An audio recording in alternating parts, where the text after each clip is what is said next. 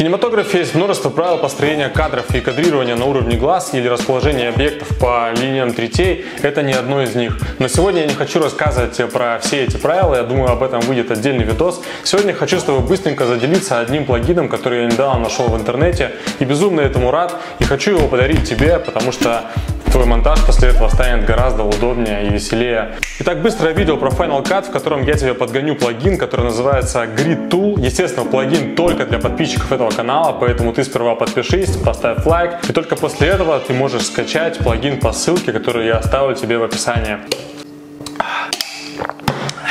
Итак, ныряем в Final Cut. Плагин у тебя будет располагаться, скорее всего, в папке Custom или в какой-то либо другой, э, во вкладке Titles. Вот здесь эта вкладка находится. Итак, плагин называется Grid Tools. Для того, чтобы его использовать, просто берем и скидываем его, нажимаем букву Q, скидываем его на тайм-линию поверх нашего кадра. И что мы видим? Итак, э, первое, что ты увидишь, когда скинешь плагин на свой кадр, это вот эту вот линию. Но конкретно вот эта улитка нас не интересует, я ей особо не пользуюсь. Если ты заморачиваешься по композициям своего кадра а, настолько мощно, чтобы использовать эту улитку, то, пожалуйста, пользуйся. Дальше мы переходим в настройки, сюда нажимаем буковку Т. И здесь мы видим, что, а, ну, во-первых, можно использовать белый либо черный цвет. Можно его перевернуть вправо-влево. Также по вертикали можно его отзеркалить. Нам интересно не это, нам интересна вот эта вот штука. Rule of Thirds – это как раз-таки те линии, которые тебе нужно использовать при правильном кадрировании своего кадра. Короче, это безумно удобная вещь, я ее теперь все время использую, чтобы правильно расположить объект, тем более, если у меня кадр снят в 4К, я просто накидываю этот слой, потом э, перехожу в вот это меню, во вкладке Scale я могу себе э, грамотно подстроить кадрировать кадр. То есть э, это очень удобно. Нажимаем потом вот сюда, трансформ. И здесь подстраиваем кадры как нам нужно. Можем расположить э, вот этого мужика из солнца на левой нижней трети, да, можем расположить по центру. Таким образом мы видим, где у нас располагается. Также очень удобно, то мы можем по линии определить, не завален ли у нас горизонт.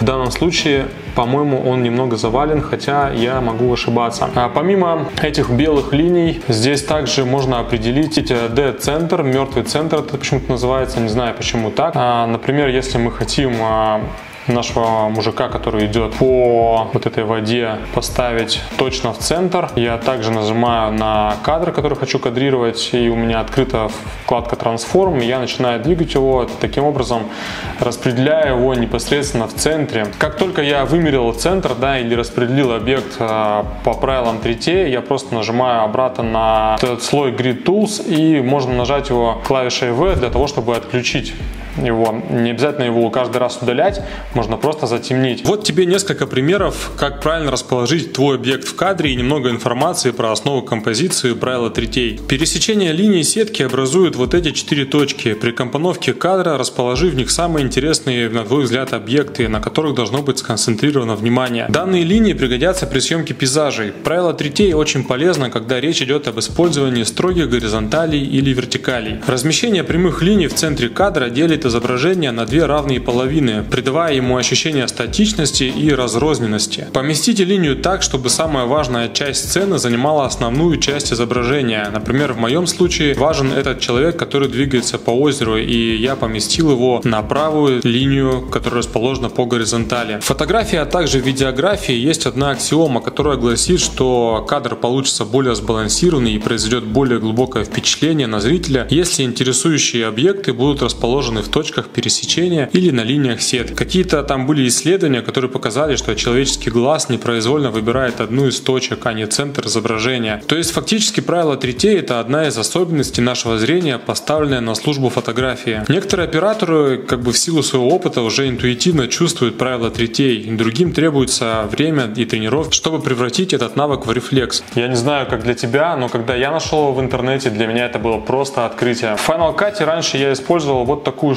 Она есть во вкладке View, называется Show Horizon, ну, показать горизонт. Как бы по нему тоже можно отстраивать. Здесь есть вот такие линии пересечения, можно как бы э, пользоваться ими, но гораздо удобнее, когда у тебя э, показать горизонт и включить еще и дополнительную сетку и использовать их, чтобы правильно кадрировать свой кадр. И еще один важный момент, который я хочу тебе сказать. Запомни, что нарушая это правило, можно также получить невероятные отличные кадры. Поэтому как только ты научишься с ним работать, работать, начинай экспериментировать.